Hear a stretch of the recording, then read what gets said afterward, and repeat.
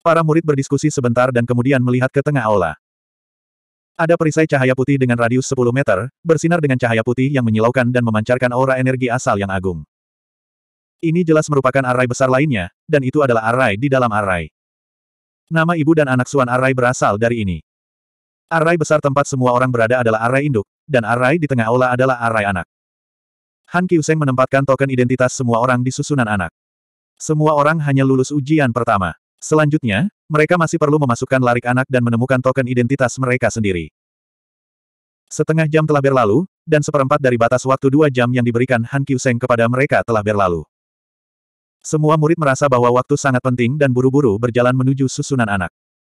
Waktunya sempit, ayo cepat ke larik anak untuk menemukan token. Jitiansing dan Lu Mingyang belum keluar. Sepertinya tidak ada harapan. Mereka pasti akan gagal dalam ujian. Kenapa kita masih peduli dengan dua sampah itu? Ayo cepat dan lihat arai anak. Eh, susunan anak ini aneh. Kita tidak bisa langsung masuk. Kita masih perlu memecahkannya.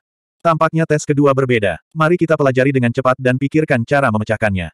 Itu tidak akan berhasil. Aku mencoba beberapa metode yang Diakon Han ajarkan kepada kita, tetapi semuanya tidak berhasil. Para murid berdiskusi sebentar dan menyadari bahwa kesulitan ujian kedua telah meningkat pesat. Wajah mereka menjadi bermartabat. Mereka akhirnya mengerti bahwa meskipun susunan ibu dan anak Suan yang didirikan Han Kyuseng hanyalah susunan tingkat rendah tingkat hitam, ada misteri tersembunyi. Tidak mudah untuk memasukkan larik anak dan mendapatkan token identitas. Swoosh! Cahaya putih menyala, dan Luming yang muncul di lorong gelap dari udara tipis. Di belakangnya dan di kedua sisi ada dinding batu biru. Hanya lorong di depannya yang memanjang ke kejauhan, dan ada cahaya di ujungnya. Luming yang melihat sekeliling dan melihat bahwa tidak ada seorang pun di lorong gelap itu. Dia segera mengungkapkan seringai sombong. Hehe, para idiot itu pasti mengira aku tidak lulus ujian pertama, kan? Dengan otak babi mereka, bagaimana mungkin mereka mengira aku lulus ujian pertama dan langsung masuk ke susunan anak? Tampaknya tempat pertama dari tes ini adalah milikku. Hahaha. Memikirkan hal ini, Lu Mingyang tidak bisa menahan tawa. Tapi saat ini, cahaya putih melintas di sampingnya dengan suara desir. Kemudian, seorang pemuda berjubah hijau muncul begitu saja. Wajah Lu Mingyang tiba-tiba berubah. Dia menoleh dan mengenali bahwa orang ini adalah Jitian Sing. Dia langsung tertegun dan menatap Jitian Sing dengan tak percaya. Jitian Sing, kamu, kenapa kamu di sini? Ini tidak mungkin. Sama sekali tidak mungkin. Lu Mingyang mahir dalam formasi susunan sebelum memasuki Sekte Bantalan Langit, jadi dia sangat percaya diri dengan penilaian ini dan meremehkan murid lainnya. Tapi dia tidak akan pernah berpikir bahwa Jitian Sing akan sama dengannya, menembus level pertama dan langsung memasuki susunan anak. Selain itu, Ji Tianxing hanya selangkah di belakangnya. Ji Tianxing juga melihat pemandangan di sekitarnya dengan jelas, dan matanya tertuju pada Lu Mingyang. Melihat ekspresi Lu Mingyang seolah-olah dia telah melihat hantu, dia segera mengerutkan bibirnya dengan jijik dan berkata, benar-benar ribut. Itu hanya arai di dalam arai. Ada misteri di mana-mana di dalam arai, dan semuanya terhubung satu sama lain. Selama Anda memecahkan susunannya, Anda dapat memecahkan ilusi di permukaan. Berbicara tentang ini, Ji Tianxing berhenti dan melambaikan tangannya dengan jijik. Lupakan saja, aku terlalu malas untuk menjelaskan terlalu banyak padamu. Lagi pula, kamu tidak akan mengerti bahkan jika aku memberitahumu. Apa? Mata Lu Mingyang langsung melotot marah. Dia terpancing oleh sikapnya yang menghina dan wajahnya menjadi pucat pasi. Beraninya kau meremehkanku. Saya tidak mengerti. Hahaha, Jitian Sing, kamu terlalu sombong. Wajah Lu Mingyang ganas saat dia menatap Jitian Sing. Dia sangat marah sehingga dia tertawa. Jitian Sing mengerutkan alisnya dengan jijik saat melihat ekspresi gila di wajahnya. Lu Mingyang, apakah kamu gila? Kenapa kau bertingkah gila? Lu Mingyang menjadi semakin marah. Dia mengertakkan gigi dan memarahi, kamu. Bagus untukmu, Ji Tianxing. Tunggu saja. Aku pasti akan mengambil tempat pertama dan menginjak-injakmu di bawah kakiku. Saya akan membiarkan Anda melihat, siapa jenius Arai. Ji Tianxing menunjukkan ekspresi seolah-olah dia sedang melihat seorang idiot dan berkata dengan nada menghina, apakah kamu masih perlu bertanya? Ini pasti aku. Setelah mengatakan itu, dia melengkungkan bibirnya dengan jijik dan berjalan ke kedalaman lorong. Lu Mingyang melihat punggungnya dan tiba-tiba mengertakkan gigi karena marah. Tinjunya terkepal begitu erat sehingga suara berderit bisa terdengar. Brengsek, dia ingin memprovokasi saya, membuat saya kehilangan akal dan membuang waktu saya. Saya hampir jatuh ke dalam perangkapnya. Setelah sekian lama, dia bereaksi dan buru-buru mengejarnya. Ketika Lu Mingyang mencapai ujung lorong, dia melihat dua pintu terang di depannya. Pintu lampu di sebelah kiri berwarna merah, dan ujung kusen pintu dikelilingi oleh api yang membubung. Pintu terang di sebelah kanan berwarna biru es, dan kusen pintunya tertutup es tebal dan banyak es tergantung di atasnya. Melihat dua pintu terang ini, Lu Mingyang langsung mengerti. Sepertinya ada dunia lain dalam susunan anak ini, dan aku bisa masuk melalui dua jalur. Kiri melambangkan api, dan kanan melambangkan es. Baru saja Ji Tianxing memasuki pintu es di sebelah kanan. Karena itu masalahnya, saya akan masuk dari pintu api di sebelah kiri. Setelah mengambil keputusan, Lu Mingyang tidak ragu untuk melangkah ke pintu api. Swoosh! Dengan kilatan api, Lu Mingyang memasuki dunia kecil susunan anak dan muncul di pegunungan yang semerah api. Seluruh pegunungan gundul, dan permukaannya ditutupi bebatuan coklat tua yang terus-menerus mengeluarkan asap hitam berbentuk spiral. Suhu tanah sangat tinggi, dan banyak tempat terpanggang merah tua oleh api. Ada juga beberapa lubang yang dipenuhi magma merah. Ada juga beberapa aliran merah di lereng bukit, dan magma merah mengalir turun dari puncak gunung. Udaranya sangat panas, dan bahkan ada nyala api merah terang yang bisa dilihat dengan mata telanjang. Lu Mingyang hanya berdiri di pegunungan api sebentar, dan dia merasa tubuhnya mendidih panas, dan kulitnya kering, seolah hendak merokok. Bukankah pekerjaan Dekan Han terlalu besar? Dia benar-benar menciptakan gunung api di dalam arai. Tidak ada jalan lain. Sepertinya aku harus mendaki gunung api untuk mendapatkan token identitas. Meskipun aku tahu bahwa ini adalah ilusi yang dibuat oleh Arai, itu terlalu realistis. Ini seperti menganggap yang palsu sebagai yang asli. Jika aku tidak bisa menghancurkan Arai, bahkan jika itu ilusi, itu cukup membuatku menderita. Lu Mingyang bergumam dengan suara rendah saat dia berjalan menaiki gunung api, dan matanya yang tajam mencari-cari. Dia menghindari tempat-tempat api berkumpul, dan daerah-daerah di mana magma merah mengalir, dan berjalan ke puncak gunung dengan santai. Meskipun udara dan tanah sangat panas, dan pemandangan magma yang mengalir di lereng bukit membuatnya gemetar ketakutan, dia tetap bertahan. Dia mengertakkan gigi dan bertahan, dan terus mengingatkan dirinya sendiri bahwa semua ini adalah ilusi yang diciptakan oleh susunan. Selama dia bisa menemukan cara untuk memecahkan arai, semuanya akan terpecahkan. 172. 15 menit kemudian, Lu Mingyang tiba di sisi gunung-gunung berkobar. Setelah 15 menit mengamati dan mencari, dia akhirnya menemukan kunci untuk memecahkan susunan tersebut. Itu adalah lubang yang tertutup lava, dan itu adalah salah satu dari empat pangkalan susunan yang mendukung susunan gunung berkobar. Jika itu adalah murid biasa, bahkan jika mereka tahu bahwa basis susunan berada di bawah lubang lava, mereka tidak akan berani memecahkannya. Lu Mingyang ragu-ragu sejenak sebelum menggunakan esensi sejatinya untuk mengirimkan bayangan telapak tangan untuk membersihkan lava merah gelap di lubang lava. Dia kemudian menggunakan teknik telapak tangannya untuk meledakkan bebatuan keras di dasar lubang lava dan akhirnya menemukan dasar susunan. Itu adalah cakram hitam seukuran wastafel, dan itu adalah salah satu dari empat basis susunan-susunan gunung berkobar. Basis susunan diukir dengan pola susunan berselang-seling, dan ada selusin permata merah gelap di polanya. Jika basis susunan ini adalah papan catur, maka selusin permata merah gelap adalah bidak caturnya, dan itu adalah kunci untuk memecahkan dan mengendalikan susunan tersebut. Haha, aku benar. Tidak peduli seberapa misterius susunannya, itu tidak bisa lepas dari mataku. Aku benar-benar jenius susunan.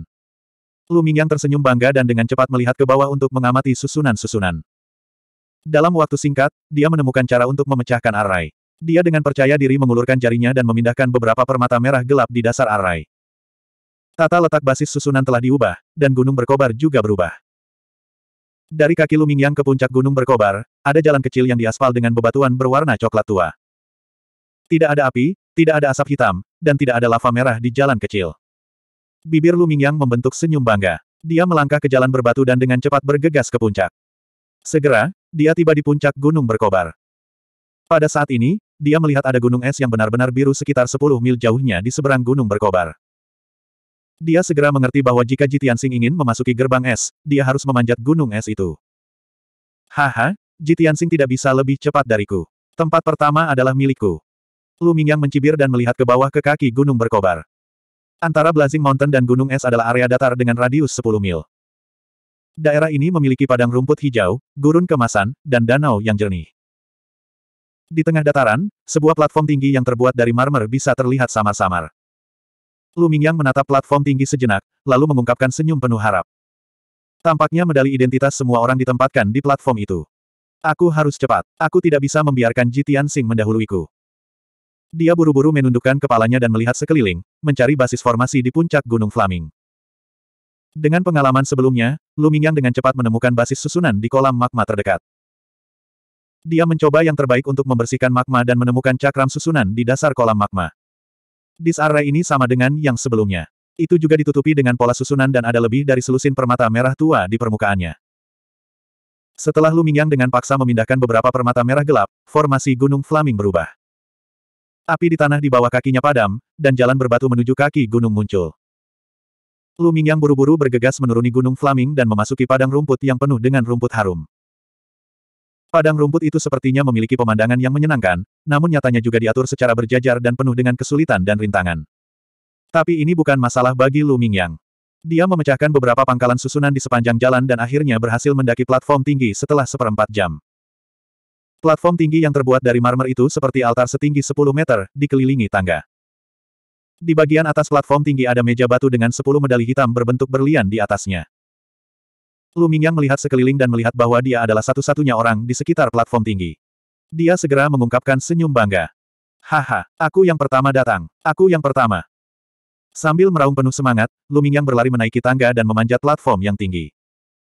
Dia bergegas ke meja batu dan menemukan medali identitasnya di antara sepuluh medali.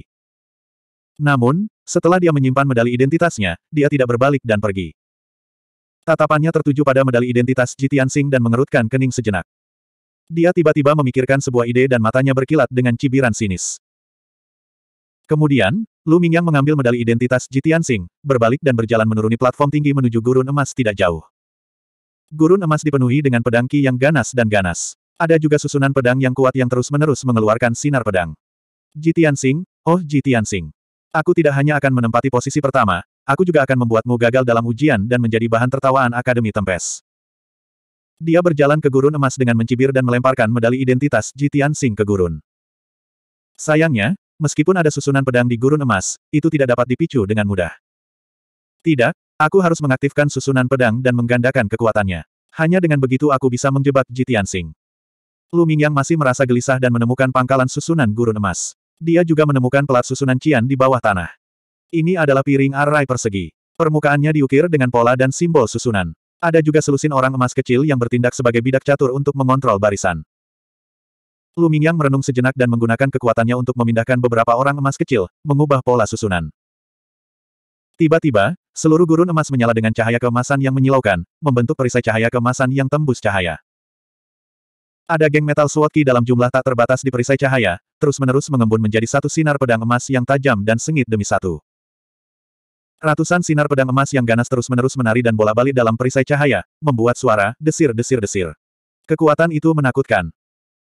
Lu Mingyang sangat jelas bahwa bahkan jika dia dilemparkan ke dalam perisai cahaya, dia tidak akan mampu menahan banyak sinar pedang.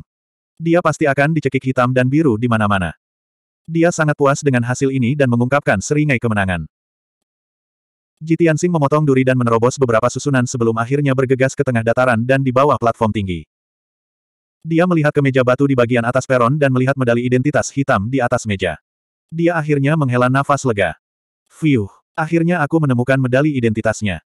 Dia berbisik dengan suara rendah dan menoleh untuk melihat sekeliling. Dia menemukan bahwa dia adalah satu-satunya di bawah platform tinggi. Aneh, di mana Lu Mingyang? Apa dia belum datang? Jitiansing mengerutkan alisnya dengan bingung, lalu buru-buru melangkah ke atas panggung. Ketika sampai di meja batu, dia melirik medali identitas di atas meja dan kelopak matanya tiba-tiba berkedut. Mengapa hanya ada delapan medali? Dia samar-samar memiliki firasat buruk dan dengan cepat mencari medalinya sendiri di antara delapan medali. Pada akhirnya, tidak ada medali untuknya di antara delapan medali tersebut. Dua medali yang hilang adalah miliknya dan milik Lu Mingyang. Orang tercela ini, benar-benar mengambil medali identitasku. Wajah Jitiansing tiba-tiba menjadi suram dan cahaya dingin melintas di matanya. 173.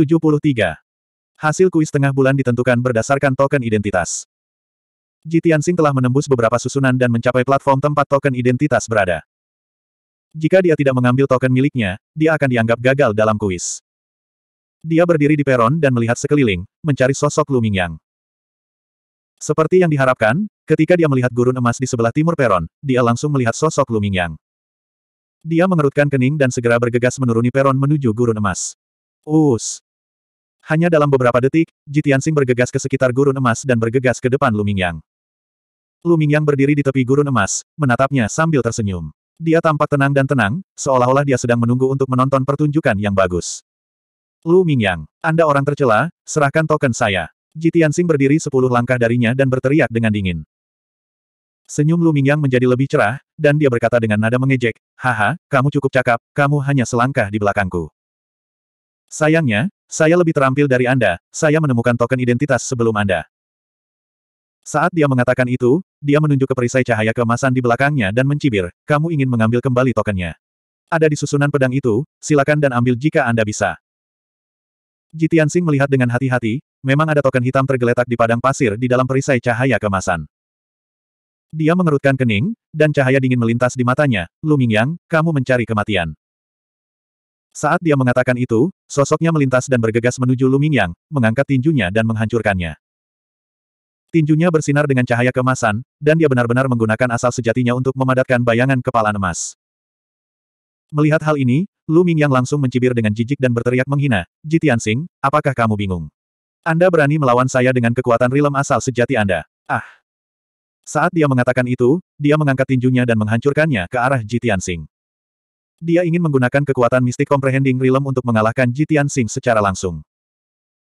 Namun, kata-katanya tiba-tiba berhenti di tengah jalan, dan paruh kedua kalimatnya berubah menjadi jeritan. Bang!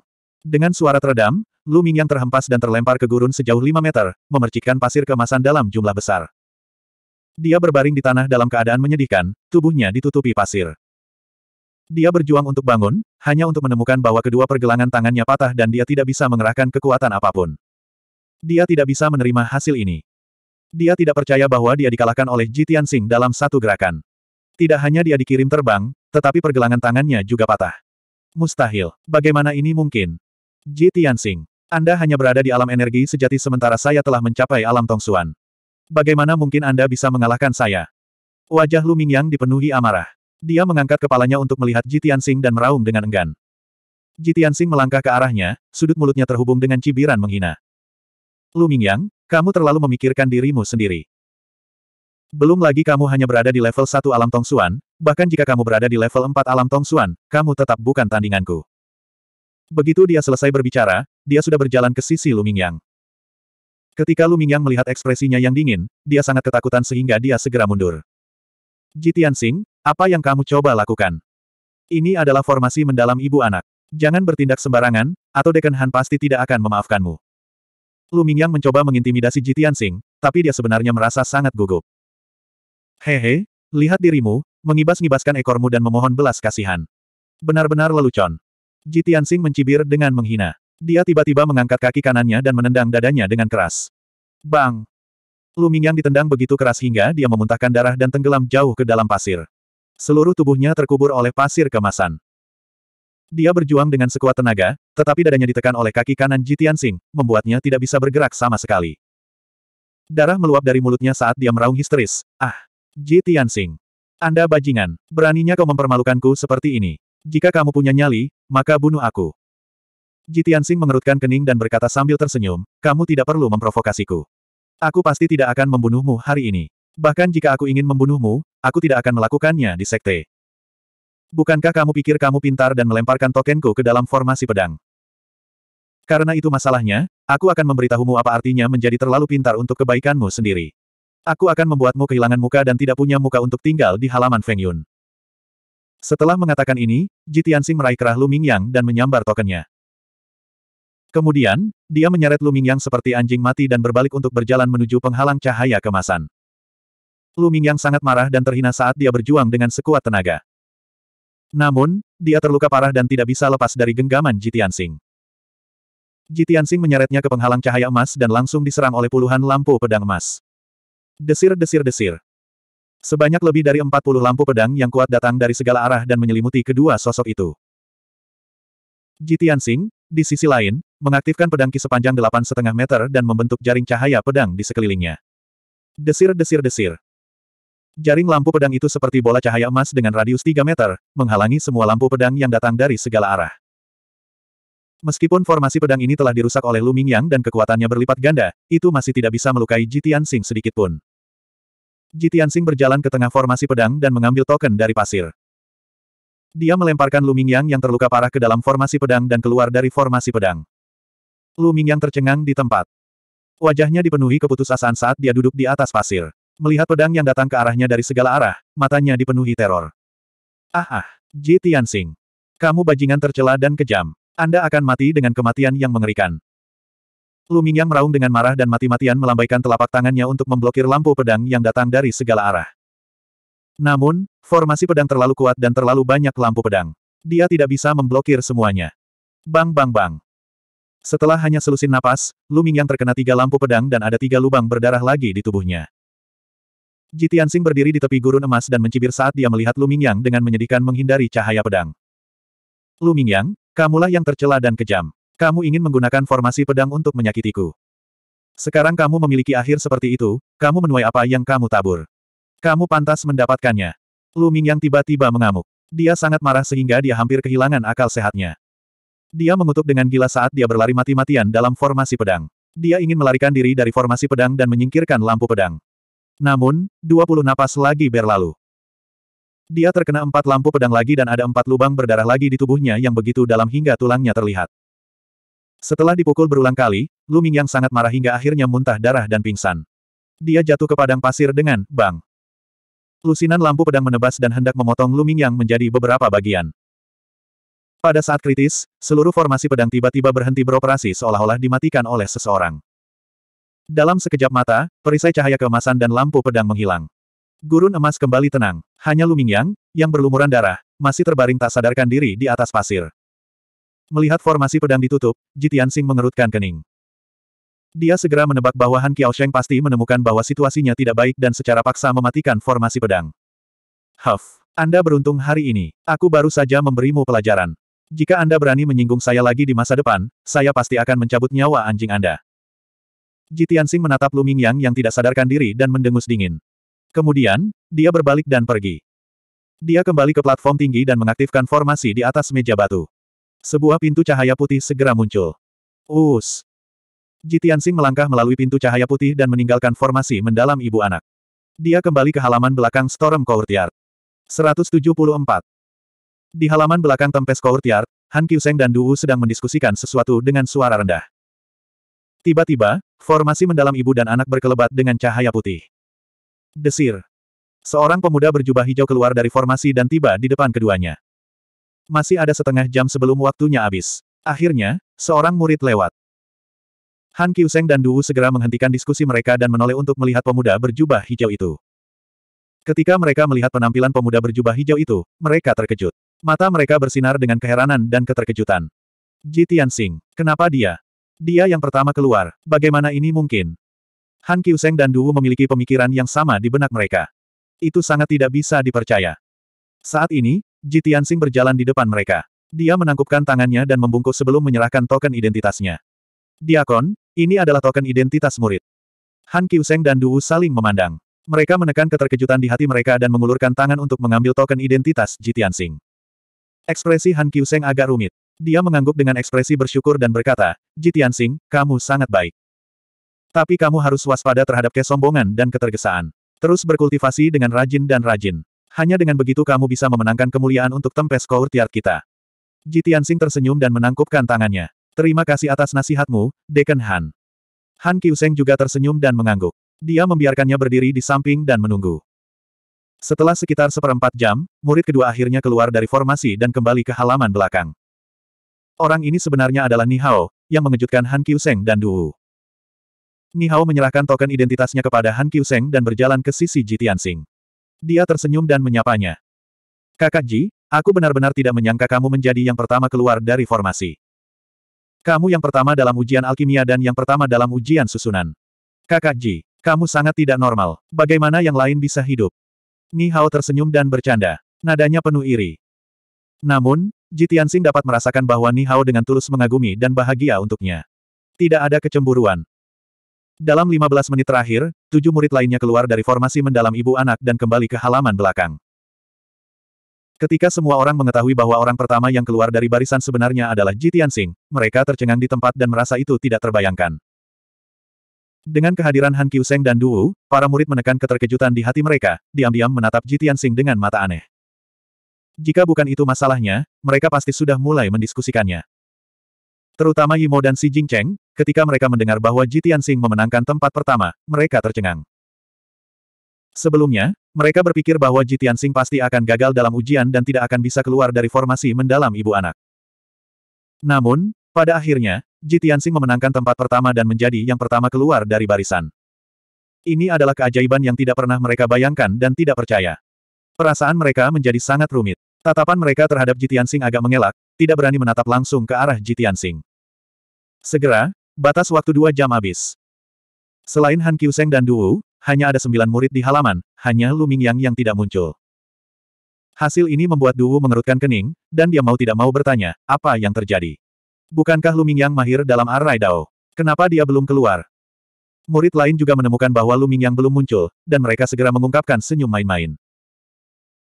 Seorang murid dengan cepat berkata, Diakon Du, baru saja saya berada di barisan dan melihat dengan mata kepala sendiri bahwa Lu Mingyang terjebak di gurun. Dua murid lainnya juga dengan cepat menggema, ya, saya juga melihatnya. Lu Mingyang juga tampaknya mengalami cedera serius. Han Qiuseng mengerutkan kening, sepertinya secara tidak sengaja melirik Jitiansing. Jelas, dia sangat jelas tentang apa yang sedang terjadi. Namun, Jitiansing pura-pura tidak melihat tatapan Han Qiuseng. Wajahnya masih tenang, dan dia berdiri dengan tenang di tengah keramaian. Han Qiuseng melambaikan tangannya, memancarkan sinar esensi sejati, dan mulai mengendalikan formasi mendalam ibu anak. Setelah beberapa saat, formasi mendalam ibu anak ditutup. Penghalang cahaya putih selebar 10 meter menghilang, memperlihatkan lantai batu perak dan hitam. Us. Lu Mingyang, yang berlumuran darah dan terluka parah serta tidak sadarkan diri, muncul di depan semua orang, terbaring di lantai batu. Melihat penampilannya yang menyedihkan, beberapa murid tidak bisa menahan tawa, menunjukkan ekspresi Sadenfrude. Jika bukan karena kehadiran kedua diaken itu, mereka pasti akan tertawa dan mulai berdiskusi lagi. Diakon Du, bawa dia turun untuk mengobati lukanya. Han Qiuseng memerintahkan tanpa ekspresi. Duwu mengangguk dan dengan cepat membawa pergi Lu Mingyang yang terluka parah dan tidak sadarkan diri. Kemudian, Han Qiuseng mengumumkan hasil penilaian. Dalam penilaian Dao Arai ini, Lu Mingyang gagal. Sembilan murid telah berhasil lulus penilaian, dan Jitian Sing adalah yang pertama. Mereka yang gagal dalam penilaian akan dihukum dan terus membersihkan halaman badai selama dua bulan. Tempat pertama, Jitian Sing, akan menerima lima buah roh Aquarius sebagai hadiah. Mendengar hasil ini, semua murid memiliki ekspresi rumit di wajah mereka. Beberapa merasa senang atas hukuman Lu Mingyang, diam-diam tertawa. Tetapi lebih banyak orang memandang Jitian Sing dengan mata penuh iri. Han Qiuseng melanjutkan dengan ekspresi serius, sebelum semua orang memasuki formasi mendalam ibu anak, saya sudah mengingatkan semua orang. Formasi mendalam ibu anak memiliki misteri tersembunyi, dan ada arai di dalam arai. Tidak hanya semua orang harus menggunakan arai dao yang telah Anda pelajari dalam setengah bulan terakhir, tetapi Anda juga harus berpikir dan meneliti lebih banyak untuk memilikinya. Kesempatan memenangkan tempat pertama. Meskipun kamu telah sangat rajin dalam setengah bulan terakhir dan memang telah lulus penilaian, kamu tidak banyak berpikir. Kamu belum dapat menarik kesimpulan dan benar-benar memahami esensi dari arai dao. Meski penilaian sudah selesai, Han Qiuseng tetap menegur dan membimbing semua orang seperti biasa. Kalau tidak, apa gunanya penilaian ini? Han Qiuseng melakukan ini bukan untuk mengurutkan para murid dan membuktikan siapa yang lebih baik dan siapa yang lebih buruk. Niat awalnya adalah untuk mengajar para murid bagaimana belajar dan meningkat melalui setiap penilaian. Ajari seorang pria memancing, dan Anda memberinya makan seumur hidup. Ini adalah cara Han Qiuseng mengajar para murid. Dia tidak hanya mengajar para murid alkimia dan arai dao, tetapi dia juga mengajari mereka cara belajar dan meneliti arai dao dan alkimia dao. Selama murid-murid ini bukan orang bodoh, mereka pasti bisa memahami dengan analogi dan menerapkan metode pembelajaran ini pada seni bela diri di masa depan. Hanya dengan begitu mereka akan memiliki prestasi besar di masa depan. Melihat semua murid mendengarkan dengan penuh perhatian dan rendah hati, Han Qiuseng terus berbicara. Mengapa Jitian Sing bisa memenangkan tempat pertama? Karena, dia tidak menggunakan tujuh rumus mendalam untuk melewati tingkat pertama. Dia melihat ke permukaan untuk melihat esensinya, dan dia tahu untuk mengamati dan berpikir lebih banyak. Dia memecahkan susunan tingkat pertama, menemukan jalan rahasia yang tersembunyi, dan langsung memasuki tingkat kedua. Itu sebabnya dia menemukan token identitas lebih cepat darimu. Hanya orang biasa-biasa saja yang akan menerobos susunan langkah demi langkah. Orang jenius melihat kebenaran melalui kabut dan mengambil jalan pintas untuk mencapai akhir. Saya harap semua orang akan mengingat poin ini dan menerapkannya pada seni bela diri di masa depan. Hanya dengan cara ini Anda bisa menjadi ahli sejati. Setelah mendengarkan kata-kata Han Qiuseng, semua murid belajar banyak dan memahami niat baiknya. Imo dan Si Jingcheng merasa malu. Mereka sangat malu sehingga mereka tidak bisa menunjukkan wajah mereka. Sebelumnya, mereka berdua tidak tahan dengan Jitian Sing dan cemburu padanya. Jadi mereka selalu mengincarnya dan mengkritiknya di belakang punggungnya. Tapi sekarang, setelah dua bulan penilaian, Jitian Sing telah memenangkan tempat pertama dua kali. Keduanya mahir dalam alkimia, tetapi Jitiansing mengungguli mereka dengan hasil yang lebih mempesona. Dalam setengah bulan ini, mereka berdua fokus mempelajari Arraidao. Jitiansing bahkan tidak mendengarkan kelas Arraidao selama sehari, tetapi dia memenangkan tempat pertama dalam penilaian Arraidao dan bahkan menerima pujian Han Qiuseng. Bakat Jitiansing sangat luar biasa. Bagaimana mereka berdua bisa dibandingkan dengannya? Keduanya mengingat kata-kata yang mereka gunakan untuk mengejek Jitiansing. Bagaimana mungkin mereka tidak malu? Sejak saat itu, keduanya benar-benar diyakinkan oleh Ji Tianxing. Mereka tidak lagi berani memprovokasi atau mengejeknya. 175. Semua orang seperti ini. Ketika penampilan Ji Tianxing lebih luar biasa daripada penampilan Yi Mo dan Xi Jingcheng. Keduanya akan menyangkal keunggulannya, cemburu padanya, dan bahkan memfitnah dan membicarakannya di belakang punggungnya. Dan ketika Ji Tianxing lebih menonjol dari mereka dalam semua aspek, dan bahkan melampaui mereka dalam semua aspek. Mereka bahkan tidak memiliki kualifikasi untuk cemburu pada Ji Tianxing. Mereka hanya bisa mengagumi dan mengaguminya. Tentu saja, Yi Mo dan Xi Jingcheng adalah jenius top dari berbagai negara. Bahkan jika mereka berulang kali dikalahkan oleh Ji Tianxing dan tidak bisa tidak mengagumi Ji Tianxing, mereka tidak akan tertekan dan putus asa. Keunggulan dan keunggulan Ji Tianxing hanya akan membangkitkan semangat juang mereka dan membuat mereka bertekad untuk berkultivasi lebih keras lagi.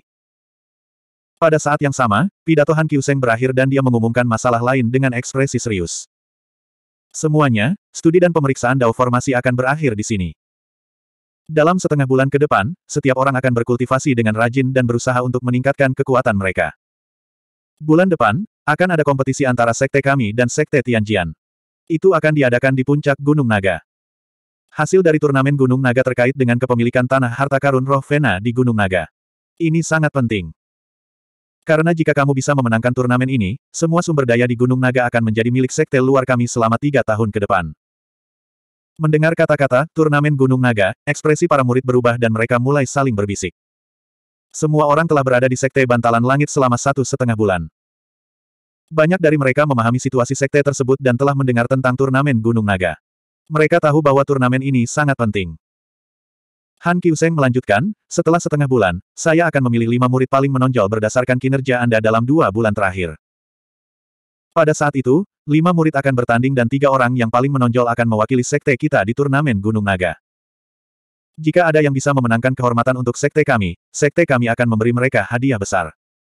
Semua murid terinfeksi oleh kata-katanya. Darah mereka melonjak dan mata mereka dipenuhi dengan antisipasi. Halaman awan angin memiliki 10 murid, dan hanya tiga yang diizinkan untuk berpartisipasi dalam turnamen Gunung Naga.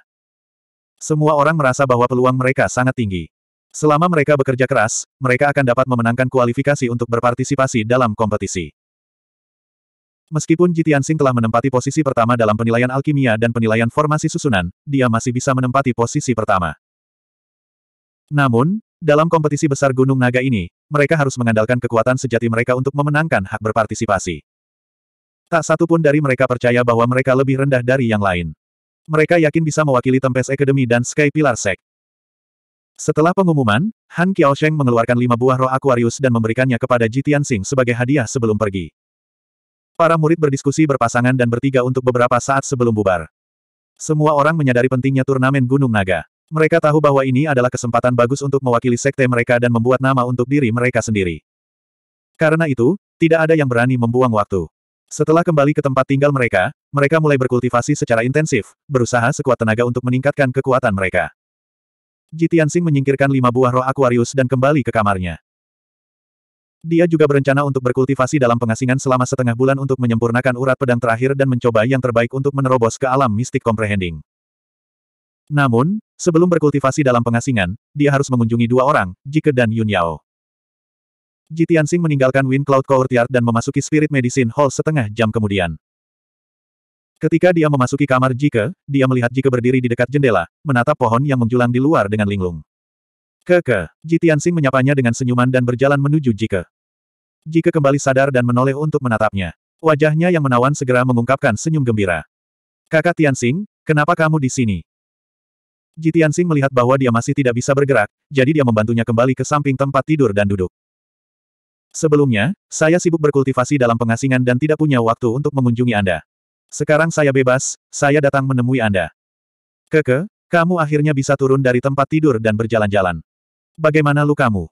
Jika mengangguk dan tersenyum. Kakak Tianxing, jangan khawatir.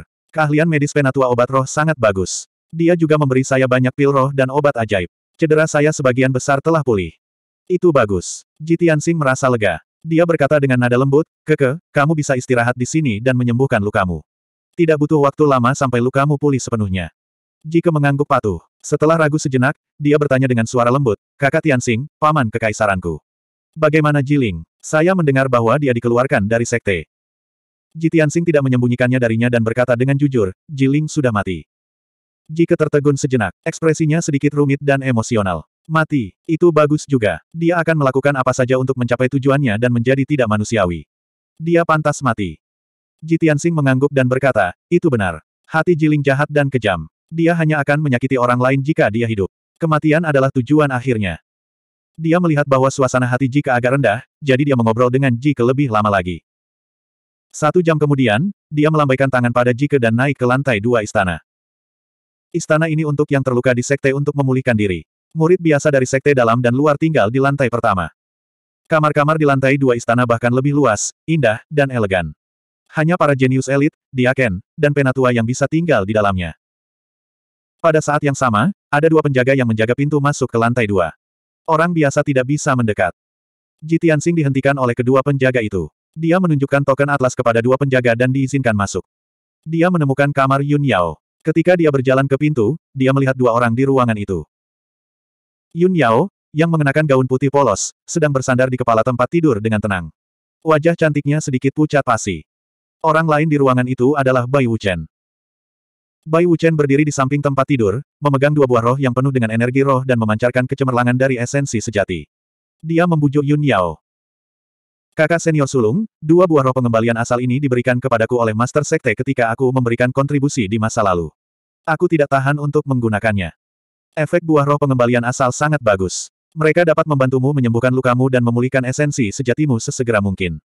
Kakak tertua, ini adalah tanda penghargaan saya. Jangan menolaknya, cepat terima.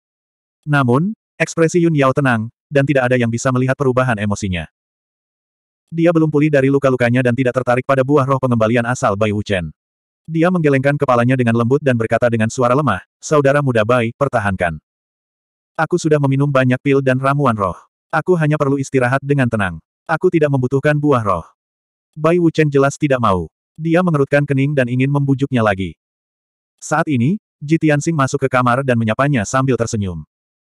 Kakak senior sulung, aku di sini untuk mengunjungimu. Tubuh Bai Wuchen menegang saat mendengar suaranya. Dia segera memutar kepalanya untuk menatapnya. Ji Tianxing, mengapa kamu di sini? Bai Wuchen mengerutkan kening, dan ada kebingungan di matanya. Ji Tianxing tersenyum dan berkata dengan tenang, bahkan kakak senior Bai tahu untuk mengunjungi kakak senior sulung. Tentu saja, saya harus menunjukkan perhatian pada kakak senior sulung. Saat dia berbicara, dia berjalan ke samping tempat tidur Yun Yao dan bertanya tentang lukanya dengan prihatin. Ekspresi Yun Yao banyak berkurang. Dia mengatakan beberapa kata kepadanya dengan suara lemah, menunjukkan bahwa dia baik-baik saja. Bai Wuchen mengerutkan kening dan menatap Ji Tianxing. Dia bertanya lagi, Ji Tianxing, ini adalah area terlarang. Kamu hanya bisa masuk dengan izin dari pemimpin sekte atau tetua. Bagaimana kamu menyelinap masuk? Ji Tianxing meliriknya dan tersenyum main-main. Dia mengeluarkan token atlas. Saya punya token. Mengapa saya tidak bisa masuk? Token atlas. Bai Wuchen mengenali token itu. Matanya menyipit, dan wajahnya dipenuhi rasa tidak percaya. Di sekte kami, hanya kakak tertua dan beberapa dari kami murid elit yang memiliki token atlas. Bagaimana Anda mendapatkannya? 176. Bai Wuchen tahu pentingnya Sky Rising Token lebih baik daripada orang lain. Hanya enam murid paling menonjol dari Sekte Pengangkatan Langit, yang sangat dipercaya dan dihargai oleh pemimpin Sekte, yang dapat menerima token Pengangkatan Langit. Sekarang, Token pengangkatan langit ketujuh telah muncul, dan itu berada di tangan Jitiansing, seorang murid sekte luar. Bai Wuchen tidak dapat mempercayainya, dan dia tidak dapat memahaminya. Menurutnya, Jitiansing hanya berada di alam energi vital. Dia lemah dan murid sekte luar baru. Dia tidak memiliki banyak kesetiaan atau kontribusi pada sekte tersebut. Mengapa pemimpin sekte memberinya token pengangkatan langit? Jitiansing memandang Bai Wuchen dengan senyum tipis dan berkata dengan acuh tak acuh, token pengangkatan langit secara alami diberikan kepadaku oleh pemimpin sekte. Mengenai mengapa pemimpin sekte memberikannya kepadaku, mengapa kamu tidak bertanya padanya, kakak senior Bai? Bai Wuchen mengerutkan kening, dan sudut mulutnya berkedut dua kali. Tanya pemimpin sekte. Belum lagi apakah dia punya nyali atau tidak, bahkan jika dia punya nyali untuk bertanya kepada pemimpin sekte, pemimpin sekte pasti tidak akan menjelaskannya kepadanya. Suasananya agak canggung, dan ekspresi Bai Wuchen tidak wajar. Pada saat ini, Yun Yao mengubah topik, untuk sementara mengurangi rasa malu Bai Wuchen. Dia memandang Ji Tianxing dan bertanya dengan tenang, Saudara muda Tianxing, turnamen Longshan akan diadakan bulan depan. Apakah Dekan Han telah memutuskan kandidat untuk berpartisipasi dalam turnamen? Ji Tianxing menggelengkan kepalanya. Belum. Dekan Han berkata bahwa dia akan memilih lima murid di akhir bulan. Setelah kompetisi dan pemeriksaan, dia akan memilih tiga untuk berpartisipasi dalam turnamen. Begitu dia selesai berbicara, Bai Wuchen berkata sambil tersenyum, menurut pendapat saya, hanya ada sedikit murid yang memenuhi syarat untuk mewakili sekte luar. Lu Mingyang adalah salah satunya. Dia awalnya adalah murid sekte dalam. Meskipun dia diturunkan ke sekte luar, kekuatannya tidak turun. Dia masih berada di alam metafisika. Dia peringkat pertama di Akademi Feng Yun. Salah satu dari tiga tempat di turnamen Longshan akan menjadi miliknya. Pada titik ini, Bai Wuchen menaksir Ji Tianxing dan berkata sambil tersenyum, Adapun kamu, aku khawatir kamu masih jauh dari mampu mewakili sekte kami melawan sekte Tianjian. Ji Tianxing tidak marah. Sebaliknya, dia balas tersenyum padanya dan menjawab, apakah kekuatan Lu Mingyang adalah nomor satu atau tidak di halaman badai bukanlah sesuatu yang bisa dikatakan oleh kakak senior Bai dengan mulutnya. Mengenai apakah saya bisa memenangkan hak untuk berpartisipasi dalam turnamen Gunung Naga, kita akan tahu di akhir bulan. Kakak senior Bai, masih terlalu dini untuk membuat kesimpulan. Bai Wuchen tidak membalas, tetapi sorot matanya menjadi lebih mengejek. Ji Tianxing tidak lagi memperhatikannya. Dia menatap Yun Yao dan bertanya, kakak senior sulung, mengapa kamu tiba-tiba khawatir tentang masalah sekte luar? Yun Yao sedikit mengangguk dan berkata dengan serius, kemarin, saya pergi untuk melaporkan situasi ras iblis kepada guru. Setelah itu, guru memberitahu saya sesuatu. Kemarin, Master Sekte Tianjian mengirim surat kepada guru. Dalam surat itu, Master Sekte Tianjian Sekte mengatakan bahwa mereka telah memilih beberapa murid sekte luar mereka yang paling luar biasa. Mereka ingin memasuki Sekte Pilar Langit dan melakukan pertukaran dengan murid jenius Sekte luar kami. Dengan cara ini, kita tidak hanya dapat meningkatkan persahabatan antara dua sekte kita, tetapi kita juga dapat bertukar petunjuk satu sama lain. Setelah mendengar kata-kata Yun Yao, Ji Tianxing langsung mengerutkan kening. Sebenarnya ada hal seperti itu. Saya belum pernah mendengar Dekan Han menyebutkannya. Dia berpikir sejenak dan bertanya, kakak tertua, sebelum turnamen Gunung Naga, apakah Sekte Tianjian selalu mengirim murid ke sekte kita untuk bertukar petunjuk? Yun Yao menggelengkan kepalanya dan berkata, bukan itu masalahnya. Hanya saja Sekte Master Sekte Tianjian secara pribadi mengirim surat kepada Sekte Master, menyampaikan permintaan dan ide ini. Sekte Master setuju. Adapun berapa banyak murid sekte luar sekte Tianjian yang akan datang dan kapan mereka akan tiba, saya tidak yakin untuk saat ini. Mungkin mereka akan tiba dalam beberapa hari. Singkatnya, ketika murid-murid sekte Tianjian tiba di sekte kami, kakak muda Tianxing, kamu harus lebih memperhatikan. Seperti kata pepatah, kenali diri Anda dan kenali musuh Anda, dan Anda akan menang dalam setiap pertempuran. Jelas, Yun Yao mengingatkan Ji Tianxing untuk memanfaatkan kesempatan itu. Ji Tianxing mendengarkan nasihatnya dengan saksama dan mengangguk dengan tenang. Terima kasih atas saran Anda, kakak senior sulung. Saya pasti akan lebih memperhatikan. N, itu bagus. Yun Yao sedikit mengangguk, matanya berkedip dengan antisipasi dan kepuasan. Bai Wuchen berdiri di samping dan dengan dingin menyaksikan mereka berdua mendiskusikan turnamen Gunung Naga. Dia tidak bisa menahan cibiran di dalam hatinya. Huff. Dengan kekuatan Jitian Sing, dia pasti tidak memenuhi syarat untuk berpartisipasi dalam turnamen. Apa gunanya memperhatikan murid-murid sekte Tianjian? Namun, dengan hadirnya Yun Yao, dia hanya bisa memikirkan kata-kata ini di dalam hatinya. Dia pasti tidak akan mengatakannya dengan lantang, karena itu akan membuat hal-hal menjadi terlalu memalukan. Setelah itu, Ji Tianxing mengobrol sebentar dengan Yun Yao. Melihat luka Yun Yao tidak serius untuk saat ini dan dia akan pulih dalam sebulan, dia benar-benar lega. Dia menangkupkan tangannya dan membungkuk pada Yun Yao. Kemudian, dia berbalik dan meninggalkan ruangan. Setelah dia pergi, Bai Wuchen mengungkapkan ekspresi jijik dan bergumam dengan suara rendah, Para murid pelataran luar yang dikirim Sekte Pedang Langit ke Sekte kami untuk pertukaran adalah semua ahli jenius yang direkrut dari daerah Yong'an. Saya khawatir masing-masing murid itu memiliki kekuatan alam metafisika. Bagaimana kekuatan Jitiansing bisa menjadi tandingan mereka? Jika Akademi Feng Yun mengirim Jitiansing untuk bertarung, aku khawatir Longshan akan kalah lagi. Tiga tahun ke depan masih menjadi milik Sekte Tianjian.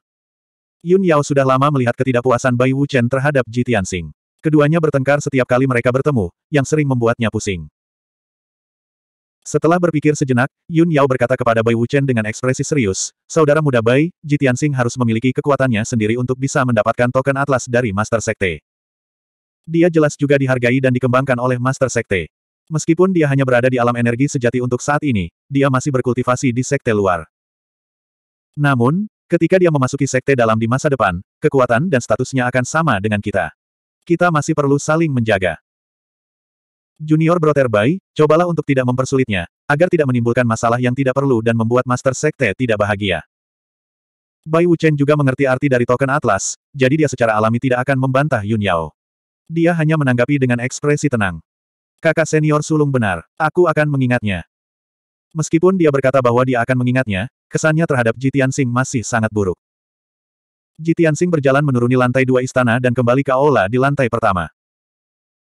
Ketika dia melihat Bai Wuchen menjilat Yun Yao sebelumnya, dia ingat bahwa masih ada lima buah roh Aquarius di kantong brokat seratus harta karunnya. Ketika dia pergi mengunjungi Jike sebelumnya, dia sudah melupakan masalah ini. Sekarang dia ingat masalah ini, Jitian Sing langsung pergi ke kamar Jike. Dia ingin memberikan kelima buah roh Aquarius kepada Jike untuk membantunya menyembuhkan dan memulihkan kekuatannya. Namun, saat Jitiansing berjalan ke pintu kamar Jike, dia mendengar suara-suara dari dalam. Selain Jike, ada orang lain di ruangan itu yang berbisik kepada Jike. Punggung orang itu menghadap ke pintu, jadi Jitiansing tidak bisa melihat wajahnya dengan jelas. Namun, Jitiansing dapat mengetahui dari punggung dan perawakan orang itu bahwa dia adalah seorang pemuda. 177 Pria muda yang berbicara dengan Jike dengan suara rendah membuat Jitian Sing merasa bahwa dia adalah orang asing. Dia belum pernah melihatnya sebelumnya. Jitian Sing sedikit bingung, jadi dia berdiri di depan pintu dan mendengarkan percakapan keduanya. Pemuda itu berkata kepada Jike, Junior Sister Jike, lukamu sebagian besar sudah pulih, tetapi kamu masih perlu setengah bulan untuk pulih dari luka dalammu. Penatua obat telah memberimu resep lagi hari ini. Aku akan membantumu merebus obatnya besok. Kamu hanya perlu meminumnya selama setengah bulan dan lukamu akan sembuh total. Jika mengangguk dan tersenyum tipis, terima kasih, kakak senior Sukin. Terima kasih telah merawatku selama setengah bulan terakhir. Kalau tidak, lukaku tidak akan pulih secepat ini. Pria muda bernama Sukin melambaikan tangannya dan berkata dengan nada ramah, Saudari, jika terlalu sopan. Saya adalah murid tetua pengobatan dan juga ahli pengobatan dari Balai Pengobatan Roh. Meracik obat untuk semua orang adalah tugas saya. Setelah jeda, Su Qin menyelidiki, saudari muda Jike, Anda telah tinggal di aula pengobatan roh selama lebih dari setengah bulan sekarang. Anda memiliki pemahaman tentang tetua pengobatan. Junior Sister, apakah Anda sudah memikirkan masalah yang saya sebutkan terakhir kali? Uh, Jike merenung sejenak dan berkata dengan ragu, kakak senior Sukin, tolong beri aku lebih banyak waktu. Aku masih perlu memikirkannya. Aula pengobatan roh adalah tempat penting dalam sekte. Penatua pengobatan adalah raja pengobatan yang sangat dihormati yang dapat menghidupkan kembali orang-orang. Saya, saya khawatir bakat saya tidak cukup baik dan saya akan gagal memenuhi harapan penatua obat. Sukin tertawa ramah dan dengan cepat membujuk, Junior Sister Jike, kamu terlalu khawatir. Semua murid di sekte tahu tentang temperamen penatua obat. Dia adalah penatua yang paling lembut dan baik hati. Dia selalu baik dan baik hati kepada para murid di sekte. Junior Sister, jika kamu datang ke Spirit Medicine Hall, kamu akan merasa santai dan nyaman. Kamu tidak akan segugup dan sekompetitif saat kamu berada di White Dew Courtyard. Medicine Elder telah mengatakan beberapa kali bahwa ketika dia melihatmu, Suster Junior, itu seperti melihat cucunya sendiri. Ada semacam takdir yang membuatnya ingin mengambilmu sebagai muridnya dan mengajarimu Dao Alkimia. Setelah mendengar kata-kata Sukin, Jike sedikit bingung. Dia melambaikan tangannya dan berkata, Kakak Sukin, jangan salah paham. Akhir-akhir ini, perawatan dan perhatian tetua kedokteran untukku terukir di hatiku. Aku juga sangat berterima kasih padanya. Aku hanya takut bakatku terlalu rendah dan aku tidak memiliki bakat apa pun dalam Dao of Alchemy. Jika aku menjadi murid tetua obat, aku akan mempermalukannya di masa depan. Sukin sepertinya sudah lama berharap dia akan mengatakan ini. Dia tersenyum ringan dan berkata, Saudari muda, Anda dapat yakin. Karena Penatua Yao ingin menerima Anda sebagai murid dan mengajari Anda Dao Alkimia, dia pasti sudah melihat bahwa akar roh Anda tidak dangkal dan bahwa Anda memiliki bakat luar biasa dalam alkimia. Terlebih lagi, dengan pencapaian tetua kedokteran dalam alkimia dan kultivasi, bahkan batu yang keras kepala pun dapat diajari olehnya menjadi seorang alkemis yang berkualitas. Melihat Jika terdiam dan sepertinya masih ragu, Sukin terus berbicara. Meskipun saya tahu bahwa suster junior dengan sepenuh hati mengabdikan diri pada Martial Dao dan ingin menjadi ahli Martial Dao. Jika saya membiarkan Anda meninggalkan White Dew Courtyard dan datang ke Spirit Medicine Hall untuk belajar alchemy, itu memang akan menunda kultivasi Martial Dao Anda. Namun, jika saudari muda bisa menjadi Grandmaster Alkimia, kamu bisa memurnikan pil roh yang tak terhitung jumlahnya dan obat-obatan ajaib. Siapa yang tahu berapa banyak orang yang bisa kamu selamatkan? Itu prestasi yang luar biasa. Sama seperti saya, saya dilahirkan untuk menyukai kedamaian dan ketenangan. Saya benci bermain pedang dan tombak, berkelahi dan membunuh. Oleh karena itu, saya memilih untuk berkonsentrasi mengembangkan alkimia, mempraktikkan pengobatan untuk membantu dunia, dan mempraktikkan pengobatan untuk menyelamatkan orang. Singkatnya, saudari muda, jika kamu sudah memikirkannya, aku akan memberitahu guru tentang masalah ini. Bagaimana menurutmu? Jika terdiam sesaat sebelum dia mengerutkan kening dan berkata, kakak senior Sukin, jangan cemas. Aku masih perlu mendiskusikan masalah ini dengan kakak Tianxing dan biarkan dia membantuku memutuskan. Kakak Tianxing, adik muda, apakah dia kakak laki-lakimu? Sukin tertegun sejenak sebelum dia tersenyum dan mengangguk. Bagus juga, hal sepenting itu memang harus didiskusikan dengan kakak. Kalau begitu, aku akan pergi dulu. Aku akan datang menemuimu besok setelah aku selesai menyeduh obatnya. Setelah mengatakan itu, Sukin menangkupkan tangannya dan mengucapkan selamat tinggal pada Jike sebelum dia berbalik dan pergi. Ji Tianxing sudah diam-diam bersembunyi di kamar sebelah. Dia hanya muncul setelah Sukin pergi. Dia masuk ke kamar Jike dan melihat Jike berdiri di dekat jendela. Dia menatap pohon yang menjulang tinggi di luar dengan linglung. Keke, Ji Tianxing menyapanya dengan senyuman. Dia berjalan ke sisi Jike dan bertanya, mengapa kamu berdiri di dekat jendela dengan linglung lagi? Apa yang Anda pikirkan? Kakak Tianxing, kenapa kamu kembali lagi? Jike tersenyum dan menarik lengannya, berkata, tapi kamu kembali tepat waktu. Aku sedang mencarimu untuk sesuatu. Jitiansing mencubit wajah kecilnya dan bertanya sambil tersenyum, apakah kamu ingin bergabung dengan Spirit Medicine Hall untuk belajar alkimia? Apakah kamu ingin aku memberimu ide? Hah? Jika tertegun sejenak, dia cemberut dan berkata, Huff, apakah Anda mendengar apa yang saya katakan kepada kakak senior Sukin tadi? Iya, Jitiansing mengangguk dan menjelaskan, tapi saya tidak bermaksud menguping. Saya kebetulan mendengarnya. Jika jelas tidak peduli tentang ini. Dia menatapnya dan bertanya dengan serius, kakak Tianxing, bagaimana menurutmu? Ji Tianxing berpikir sejenak dan mengangguk. Saya pikir kata-kata Sukin masuk akal. Dikatakan bahwa tetua pengobatan roh adalah tetua yang paling baik dan paling populer di sekte ini. Saya telah melihat penatua obat dengan mata kepala sendiri. Itu benar. Keke, jika kamu bergabung dengan penatua obat dan mempelajari alkimia, itu akan menjadi berkah yang patut ditiru. Dengan pencapaian tetua kedokteran dalam alkimia dan kecerdasan Anda, pencapaian Anda di masa depan pasti akan luar biasa. Jika secara alami tahu betapa irinya bisa bergabung dengan tetua pengobatan roh dan belajar alkimia. Namun, dia ragu sejenak sebelum mengajukan pertanyaan yang benar-benar dia khawatirkan. Kakak Tianxing, jika saya tinggal di balai pengobatan roh, akankah sulit bagi kita untuk bertemu di masa depan? Gadis bodoh. Ji Tianxing menggaruk hidung kecilnya dan berkata sambil tersenyum, Master Sekte memberiku token Atlas Langit. Aku bisa masuk dan keluar Sekte sesuka hati. Aku akan sering datang menemuimu di masa depan. Bagus sekali. Terima kasih, kakak Tianxing. Jika mengangguk berulang kali, keraguan dan kekhawatiran di hatinya akhirnya hilang. Dia tenang dan terdiam beberapa saat. Kemudian, dia melanjutkan, kakak Tianxing, sejak kejadian terakhir kali, saya telah memikirkan beberapa pertanyaan. Apakah anggota keluarga kerajaan benar-benar tidak memiliki hubungan kekerabatan? Bisakah seorang seniman bela diri menjadi gila dan tidak manusiawi untuk mengejar masa depan yang lebih baik dan kekuatan bela diri yang lebih kuat? Jika harga menjadi seorang seniman bela diri adalah menjadi berdarah dingin, tidak berperasaan, tercela, dan kejam, maka saya lebih suka tidak menjadi seorang seniman bela diri. Pada titik ini, jejak kesedihan muncul di matanya yang jernih. Dia agak berkecil hati.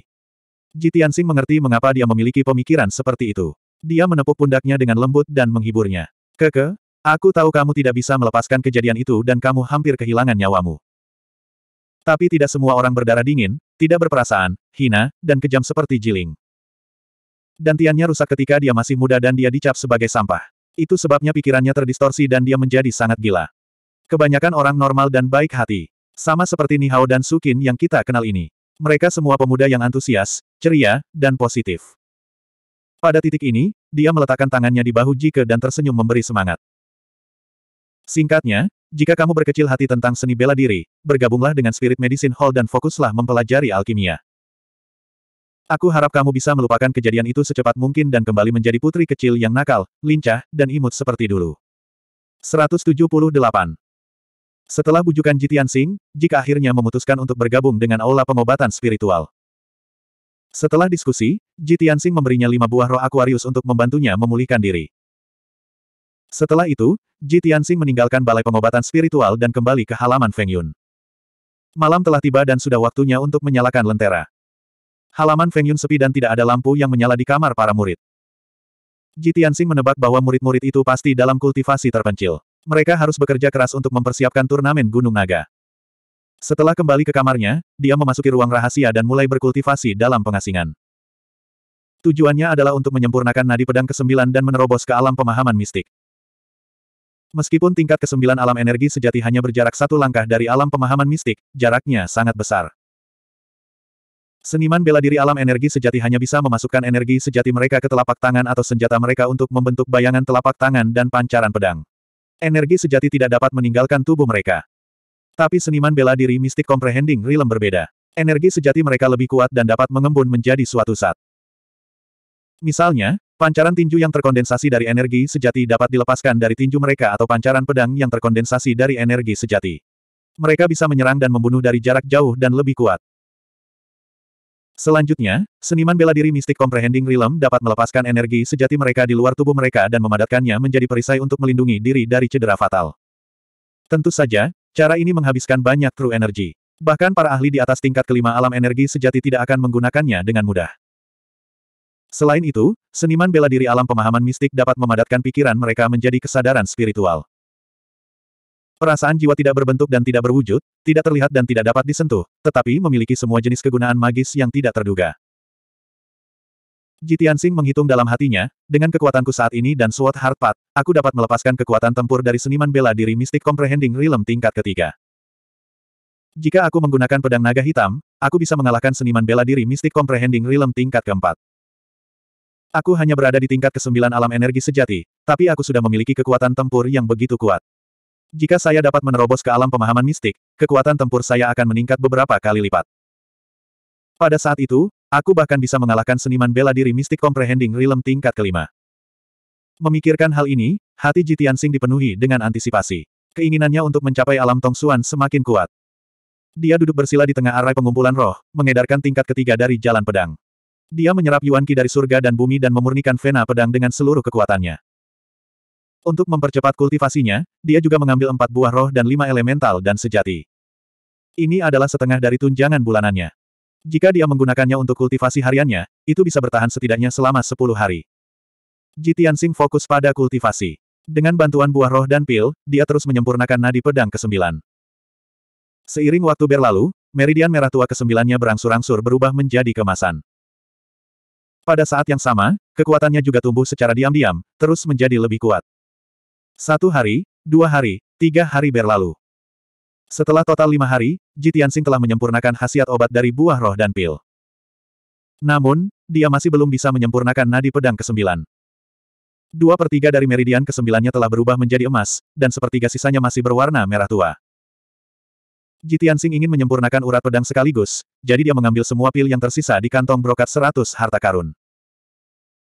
Beberapa buah roh, True Elemental Dance, dan Mystic Gold Secret Elixir semuanya meledak dengan energi esensi tak terbatas di tubuhnya, melonjak seperti sungai.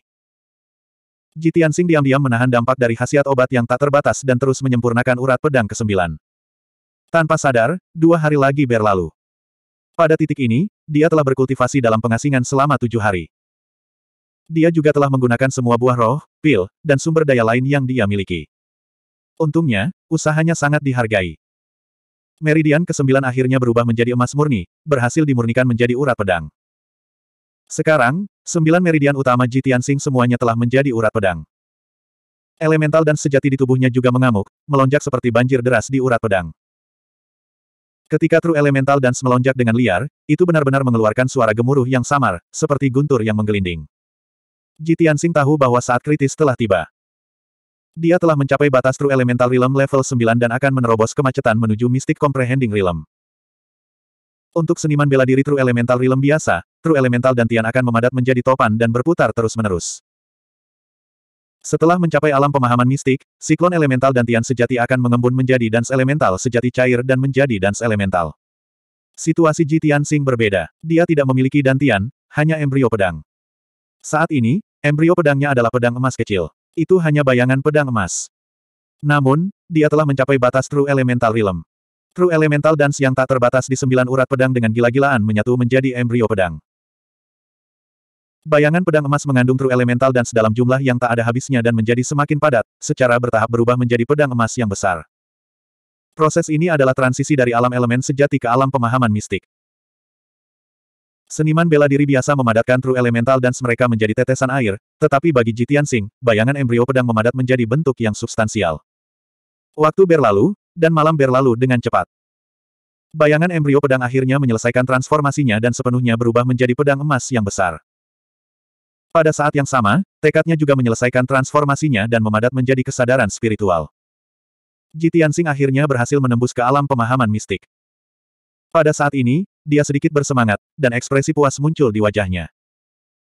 Dia mengedarkan kinya dan mengatur napasnya selama satu jam lagi sebelum dia mengakhiri kultivasinya dan membuka matanya. Ini bagus. Akhirnya selesai. Saya telah menyelesaikan tingkat ketiga dari jalan pedang. Saya akhirnya berhasil menembus ke alam pemahaman mistik. Untuk mengkonfirmasi hasil ini, dia berjalan ke sudut ruang rahasia dan menekan tangannya ke pembuluh darah si Pilar. Elemental dan sedalam jumlah tak terbatas keluar dari telapak tangannya. Vena hitam di pilar psikis segera menyala dengan cahaya kemasan. Cahaya kemasan mewakili alam pemahaman mistik. Ketika salah satu pembuluh darah menyala, itu mewakili tingkat pertama dari alam pemahaman mistik. Jitian Sing menarik tangannya dengan puas dan bergumam pelan, aku telah mencapai alam pemahaman mistik. Selanjutnya, aku harus mengolah tingkat keempat dari jalan pedang untuk terus meningkatkan kekuatanku. Saatnya untuk melihat makam Kenshin. Dia duduk bersila di ruang rahasia dan memfokuskan tekadnya pada lubang hitam di belakang embrio pedang. Us! Tekad Jitiansing memasuki makam Kenshin dan tiba di ruang gelap dan dingin. Dia melayang di langit di atas gurun. Setelah memastikan arahnya, dia melayang ke depan. Dalam waktu singkat, dia tiba di bagian bawah prasasti pedang yang menjulang tinggi.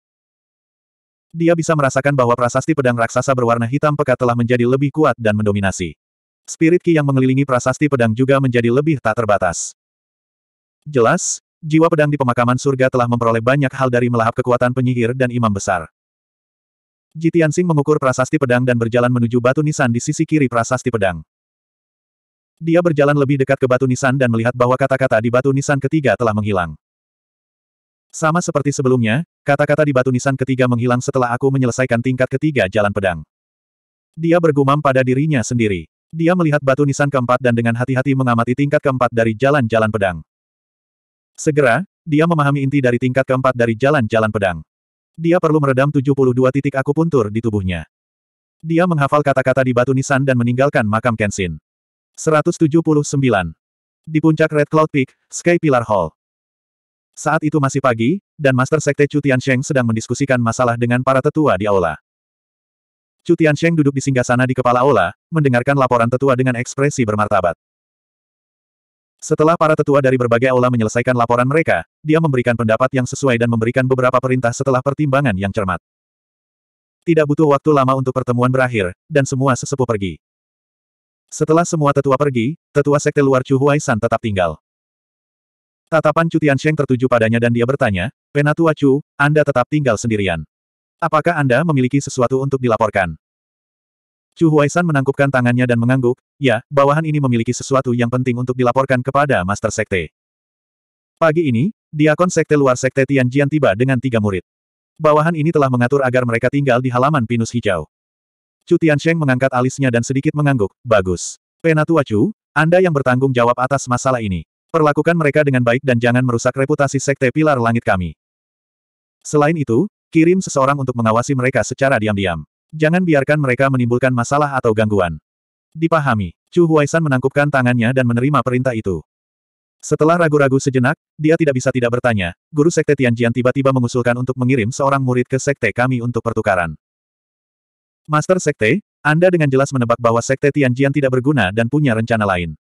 Mengapa Anda setuju dengan masalah ini? Bibir Chu Tiansheng meringkuk menjadi senyum main-main, dan dia berkata dengan nada bermartabat, itu benar. Raja ini dan Tuan Sekte Tianjian telah berurusan satu sama lain selama ratusan tahun. Tentu saja, saya tahu bahwa ambisinya tidak kecil dan dia punya rencana lain. Tapi hari ini berbeda dari masa lalu. Dalam tiga tahun terakhir, Sekte Tianjian telah menduduki Gunung Naga dan menyita sejumlah besar sumber daya budidaya.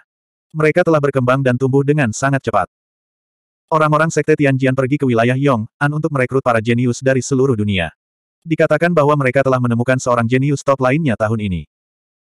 Karena Master Sekte Tianjian mengirim seorang murid baru untuk pamer, raja ini ingin melihat seberapa berbakat jenius top Sekte Tianjian yang baru direkrut. Chu Huaisan dengan cepat mengeluarkan daftar nama dari lengan bajunya dan menyerahkannya kepada Chu Tiansheng. Pemimpin Sekte, ini adalah informasi tentang tiga murid jenius dari Sekte Tianjian. Silakan lihat. Aku diam-diam telah mengamati bahwa tiga murid yang datang ke sekte kami untuk pertukaran kali ini semuanya adalah anak muda dengan bakat luar biasa. Kekuatan mereka telah mencapai alam pemahaman mistik, dan mereka semua berasal dari wilayah Yong'an. Melihat Chu Tiansheng melihat ke bawah pada register, Chu Huaisan mengambil inisiatif untuk memperkenalkan, nama ketiga murid ini adalah Hang Chen, Ran Donglai, dan Yin Fei Yang. Kekuatan Ran Donglai telah mencapai LV2 Tong Xuan Rilem. Dia lahir di keluarga aristokrat ilmu pedang wilayah Yong'an. Kekuatan Yin Fei Yang telah mencapai alam Tong Xuan LV3. Dia lahir di keluarga kerajaan sebuah kerajaan di wilayah Yong'an. Adapun Hang Chen, dia yang terkuat dan telah mencapai tingkat kelima dari tahap pencerahan mistik. Bakatnya juga yang paling menonjol. Dia adalah jenius teratas yang ditemukan oleh Sekte Tianjian tahun ini. Menurut penyelidikan bawahan ini, Hang Chen awalnya adalah murid dari Sekte kelas 3 di wilayah Yong'an, tetapi dia tidak disambut di Sekte tersebut dan dikucilkan dan ditekan di mana-mana. Mendengar ini, Chu Tiansheng mengangkat alisnya. Jelas, dia tertarik. Dia meletakkan register di tangannya dan menatap Chu Huaisan dengan penuh minat. Karena Hang Chen adalah seorang jenius top, mengapa dia berada di sekte kelas 3? Mengapa dia dikucilkan dan ditekan di mana-mana? Chu Huaisan buru-buru menjelaskan, sekte kelas 3 itu terutama mempelajari Arai Dao. Namun, jumlah ahli di sekte tersebut telah layu, dan banyak sekte lain diam-diam mengucilkan dan menyerang mereka. Wilayah dan sumber daya yang mereka miliki semakin kecil dan semakin kecil, dan mereka berada di ambang pembubaran dan kepunahan. Hang Chen memiliki garis darah pedang pertarungan, dan bakatnya dalam ilmu pedang sangat luar biasa. Namun, bakatnya dalam arai dao sangat biasa-biasa saja dan bahkan bisa disebut bodoh. Selain itu, dia memiliki aura pembunuh dan sangat agresif. Dia sering memukuli dan mempermalukan para murid di sekte tersebut, itulah sebabnya dia dikucilkan dan ditekan oleh rekan-rekannya. Karena dia tidak bisa menggertak para murid di sekte, Hang Chen menyebabkan masalah di luar sekte dan berkelahi dengan murid dari sekte lain. Karena itu, Hang Chen membuat banyak musuh dari sekte kelas 3. Pada akhirnya, sekte lain menemukan alasan untuk bergabung dan menghancurkan sekte kelas 3. Mendengar ini, bahkan Chu Tiansheng, pemimpin sekte, mau tidak mau mengerutkan kening dan mengungkapkan senyum main-main. Haha, seorang murid biasa di tingkat kelima alam Tongsuan dapat membawa bencana bagi sekte tersebut. Pria ini adalah bintang kemalangan. Chu Huaisan menggelengkan kepalanya dan berkata dengan ekspresi serius, Master Sekte, Hang Chen memiliki garis pedang pertarungan, tetapi dia bergabung dengan Sekte susunan tingkat ketiga. Ini seperti melempar mutiara di depan babi. Ini akan menunda waktu kultivasinya. Di Sekte kelas 3, bakatnya tidak dapat dikembangkan dan dibudidayakan, jadi dia menjadi bintang kesialan. Namun, Sekte Tianjian sangat kuat. Tidak seperti Sekte kelas 3 itu, itu dapat mengakomodasi Hang Chen dan mengolahnya menjadi seorang jenius top. Chu Tiansheng tersenyum dan mengangguk. Itu benar. Jenius seni bela diri selalu memiliki semua jenis keanehan dan berbeda dari orang biasa. Hanya sekte besar yang bisa mentolerir dan mengendalikan mereka. Penatua Chu, silakan lanjutkan. Chu Huaisan melanjutkan, setelah sekte kelas 3 itu dihancurkan, Hang Chen tidak hanya melarikan diri dari pengepungan, tetapi juga mencuri harta sekte tersebut dan melarikan diri ke daerah Yong An untuk menghindari perburuan. Kebetulan sekte Tianjian pergi ke wilayah Yong An untuk merekrut murid baru. Hang Chen menemukan kesempatan untuk berpartisipasi dalam kompetisi masuk Sekte Tianjian dan memenangkan tempat pertama di Sekte Tianjian. Setelah pria ini memasuki Sekte, garis darah pedang pertarungannya dikembangkan. Sekte Tianjian tidak hanya membantunya merangsang bakat garis keturunannya, tetapi juga memberinya banyak harta dan metode kultivasi. Pemimpin Sekte Tianjian bahkan menerimanya sebagai murid dan secara pribadi mengajarinya ilmu pedang. Jelas, dia memiliki harapan besar untuknya. Chu Tiansheng mengerutkan kening dan berkata dengan suara yang dalam, garis pedang pertarungan adalah garis keturunan tingkat hitam yang langka. Itu bahkan lebih kuat daripada garis darah pedang hitam. Hampir semua jenius dari sepuluh bangsa di wilayah Tianchen telah bergabung dengan sekte kami. Untuk sekte Tianjian, seorang seniman bela diri muda dengan garis pedang pertarungan memang layak untuk diasuh. Saat menyebutkan tingkat garis keturunan, Chu Waisan tersenyum bangga dan mengangguk setuju. Iya, sebagian besar jenius di wilayah Tianchen ada di sekte kami. Tidak banyak jenius sejati di Sekte Tianjian. Konyol bahwa garis pedang pertarungan dapat membuat pemimpin Sekte Tianjian menerimanya sebagai murid. Meskipun garis darah pedang pertarungan jarang terjadi, itu hanya garis keturunan tingkat hitam. Murid utama kami, Yun Yao, memiliki garis keturunan tubuh suci roh surgawi tingkat surga. Garis keturunan tingkat hitam hanya dapat memberi Hang Chen peluang 90% untuk mencapai alam inti asal. Tapi tubuh suci roh surgawi Yun Yao dapat membuatnya mencapai alam asal surga. Dalam 10 tahun paling banyak, sekte kami akan memiliki ahli rilem asal surga ketiga. Bagaimana bisa sekte Tianjian dibandingkan dengan sekte kami? 180. Selama Yun Yao disebutkan, para diaken dan tetua dari sekte Pilar Langit sangat bangga. Bagaimanapun, dia adalah jenius nomor satu yang tak terbantahkan di wilayah Tianchen. Dia memiliki garis darah surgawi dan tubuh ilahi yang legendaris. Dia telah mencapai tahap inti asal pada usia 19. Dia pernah mengalahkan elit dari tujuh sekte di Star Platform. Dia juga. Kemuliaan dan kehormatan yang diciptakan Yun Yao tidak dapat dijelaskan selama tiga hari tiga malam. Singkatnya, dia adalah seorang super jenius yang hanya bisa dilihat oleh semua jenius di wilayah Tianchen dan merasa putus asa. Hang Chen, murid baru dari Sekte Tianjian, berbakat dan memiliki bakat seni bela diri yang luar biasa. Tapi dibandingkan dengan Yun Yao, ada perbedaan antara langit dan bumi. Mereka tidak bisa dibandingkan sama sekali. Chu Tiansheng juga bangga akan hal ini. Tapi dia mengerutkan kening dan berkata dengan suara yang dalam, Elder Chu, Hang Chen tidak bisa dibandingkan dengan Yun Yao. Tapi Yun Yao adalah murid utama dari Sekte Tianjian. Hang Chen hanyalah murid luar baru dari Sekte Tianjian. Hanya murid dari halaman Feng Yun yang dapat berpartisipasi dalam turnamen Longshan ini. Mereka harus mengalahkan Hang Chen dan mengambil kembali Longshan untuk sekte tersebut. Sekte Tianjian telah menduduki Longshan selama tiga tahun. Dalam tiga tahun ini, mereka telah berkembang sangat cepat. Kami hanya bisa memenangkan turnamen Longshan ini. Kita tidak boleh kalah. Wajah Chu Tiansheng serius dan nadanya serius. Ini adalah perintah kematian untuk Chu Huaisan. Lagi pula, turnamen Longshan ini tidak hanya terkait dengan kepemilikan Longshan, tetapi juga wajah Sekte Tianjian. Chu Huaisan mengerutkan kening dan merasa sedikit malu. Sekte Guru, Meskipun sepuluh murid baru dari halaman Feng Yun sangat bagus, dibandingkan dengan Hang Chen. Saya khawatir mereka masih sedikit lebih rendah. Murid terkuat dari halaman Feng Yun, Lu Mingyang, baru berada di tahap pertama alam Tongsuan. Belum lagi mengalahkan Hang Chen, tidak diketahui apakah dia bisa menghadapi Yin Fei Yang dan Randong Lai. Chu Tiansheng juga memahami hal ini. Wajahnya menjadi lebih serius, dan matanya berkilat. Diakon Han dari halaman Feng Yun, sudahkah kamu memutuskan para murid yang akan berpartisipasi dalam turnamen? Chu Huaisan menggelengkan kepalanya dan berkata tanpa ekspresi, aku belum memutuskan. Instruksi apa yang kamu miliki? Nada Chu Tiansheng serius saat dia berkata, kalau begitu biarkan Han Qiaosheng memutuskan kandidat secepat mungkin. Dipahami. Chu Huaisan hanya bisa menangkupkan tinjunya untuk memberi hormat dan pergi. Dia kembali ke sekte luar untuk menyampaikan perintahnya. Di halaman badai. Jitiansing duduk di kamarnya, merenungkan tingkat keempat Sword Heart Dao. Sekarang dia telah mencapai Tongsuan Rilem Tier 1, jika dia ingin meningkatkan kekuatannya lebih jauh, dia harus menyempurnakan 72 aperturnya. Tubuh manusia memiliki sembilan meridian utama. Mereka seperti sembilan saluran yang saling berhubungan yang memungkinkan esensi sejati beredar dan beredar. Setiap meridian memiliki delapan titik akupuntur, yang seperti simpul pada sebuah lorong. Jika acupoints aperture rusak atau tersegel, itu akan memblokir meridian dan mempengaruhi aliran true essence. Jika titik akupuntur ditempa dan diperkuat, itu bisa semakin memperkuat meridian dan menahan lebih banyak Zen Yuan.